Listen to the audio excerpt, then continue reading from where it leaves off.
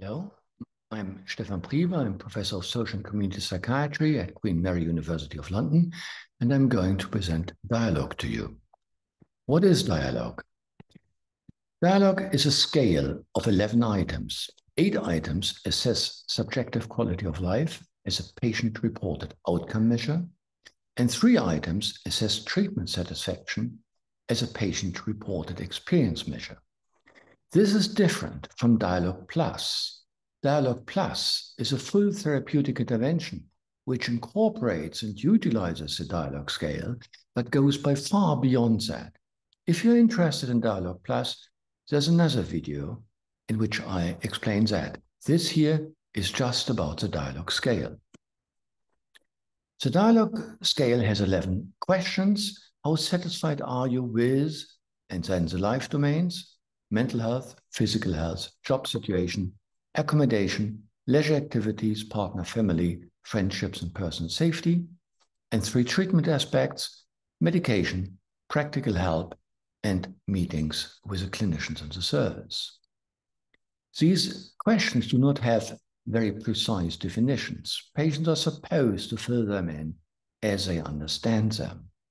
So it may be that they don't have a job in which case it is their satisfaction with that situation. Or with friendships, they may be very happy with the friends they've got, but feel they should have more friends. So they should fill it in as they currently feel about friendships as a whole.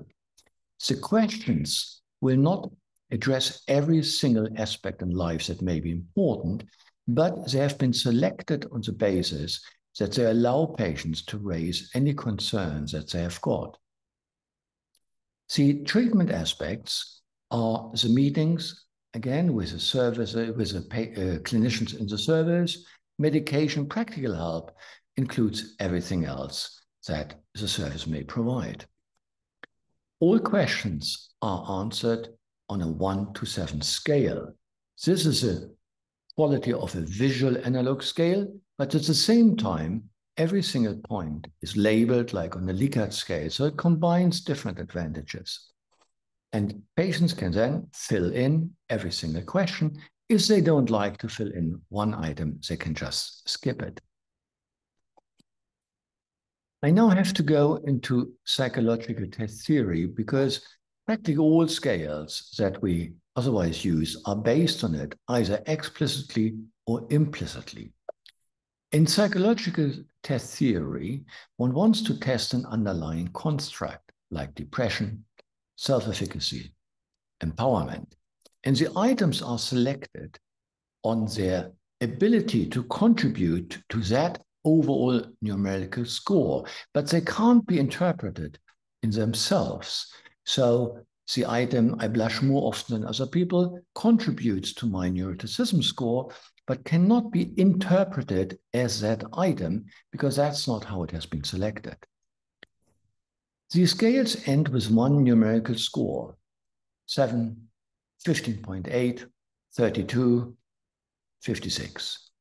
This score has no meaning in itself, it's just a number. So it requires sophisticated statistical procedure to demonstrate what it means, how it is associated with other scores, and so on, and what the relevance is. Does a difference of three points on that scale, um, does it make any difference to patients? Is it important, is it relevant or not? All that has to be established and always remains somewhat artificial. DIALOG is completely different. Here, every single item is meaningful and relevant. It is a real question. So how satisfied are you with your family means how satisfied are you with your family? It's a question that may be used in a clinical conversation or in everyday life. The meaning of I'm saying I'm not satisfied with my family is totally transparent and does not require any validation.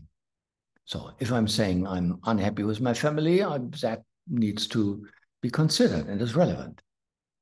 All scores are directly related to the labels of the rating. So I know what a three is, what a four is, what a five is. The consequence is it produces two global scores for quality of life and for treatment aspects, but it also produces 11 meaningful, relevant, and actionable satisfaction scores with life domains and treatment aspects. DIALOG is user-friendly and is useful. It is user-friendly because it is brief. Someone said patients will never rate more than 18 items routinely. This is only 11. It is easy to rate. All scores are transparent and straightforward to the patient, but also to everyone else who is interested in information that is provided.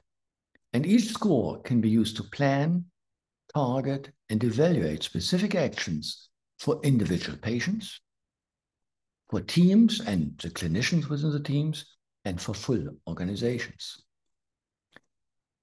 Despite not being designed as a, as a psychological test, it has excellent psychometric qualities. This is not surprising because the quality of life items have been taken from the Manchester Short Assessment of Quality of Life, which has already been used in more than a thousand publications, as well established, well tested. Both the global two global scores, as well as every single item score, have a good distribution, which is crucial for the psychometric qualities. This has been shown in different populations and different cultures. So patients with all sorts of mental disorders, but also physical disorders, and on four different continents. It is, and this is very important, sensitive to change, to different treatments, and to diagnostic groups. And I will show you some examples for this. This is a comparison of patients with depression in blue and psychosis in red. Overall, patients with depression are less satisfied with their life. We know that. That's a sign of depression and a symptom of it and a negative cognitive attribute to most things in life. And if we go through individual items, it's like that. They are less satisfied with the job situation, with the physical health, with the mental health, and so on. But surprisingly, they are more satisfied than patients with psychosis with their family and with their friendship. This is very interesting to academics because it challenges the idea of the cognitive triad of depression. But it's also relevant for services because it shows you what areas we need to target in different groups and also what areas may present strength that we can tap into in treatment. So distinct groups have distinct needs and strengths. These are the data of more than 5,000 patients in routine assessment across East London. We see the job situations a particular problem where safety patients are relatively happy with, and they also are satisfied with the meeting with professionals. This may be of interest if you compare it with other regions, but in itself, cross-sectional data do not say that much. What does say much are comparisons over time. And here we have comparisons with roughly three months with, um, in between each time point. And what we can see is that the eight areas, eight domains of quality of life improve, which is good to know and reassuring. If we go, however, into the profiles and we see potentially even more interesting data. Initially, although the difference is not much, patients are less satisfied with their mental health than with their physical health, which you would expect in a mental health service. But over time, this changes. And after a while, patients are significantly less satisfied with their physical health than with their mental health. And this may be plausible because often in mental health services, we tend to ignore uh, patients' physical complaints and I go to the GP and say never arrives there or the GP struggles to deal with that. So it has direct implications for how we organize the service and that we may instruct clinicians to pay more attention to physical complaints and deal with them. So this is a treatment satisfaction. Throughout, patients are less satisfied with the medications and with the meetings with the clinicians. This is well known. But what is important here is that it improves over time. So there's not just an initial honeymoon period and then disappointment kicks in. Now the satisfaction improves and plateaus and after roughly after a year. These are long-term treatments, was about short-term treatment. Here an example of a crisis house, only three weeks of, um, of care.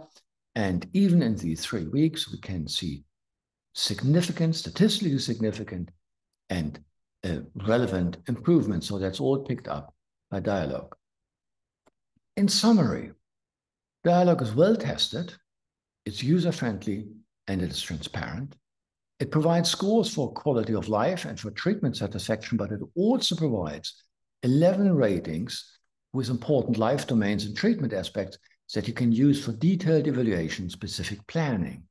Again, on the level of individual patients, on teams and services, but also on full organizations.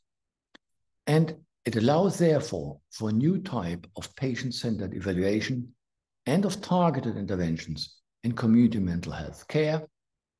And you find more information, all information, on this website. Thank you very much.